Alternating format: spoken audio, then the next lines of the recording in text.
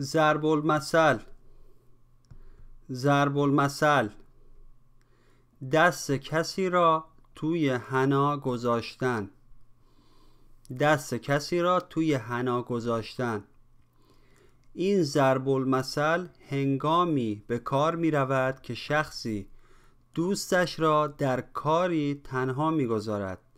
به عبارت دیگر در نیمه راه او را تنها رها می کند در چنین مواردی شخص نمی‌تواند پیش برود و نمی‌تواند بازگردد مانند کسی که دستانش در حنا گذاشتند داستان ضرب المثل در گذشته چون وسایل آرایشی و زیبایی وجود نداشت مردان و زنان از حنا استفاده می کردند. آنها بر روی دست، پا، ریش و موهایشان حنا می گذاشتند.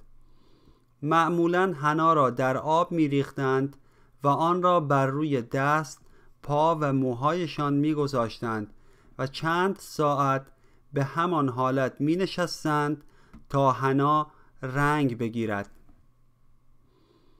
بنابراین اگر کسی دستش در حنا بود نمی توانست کاری انجام دهد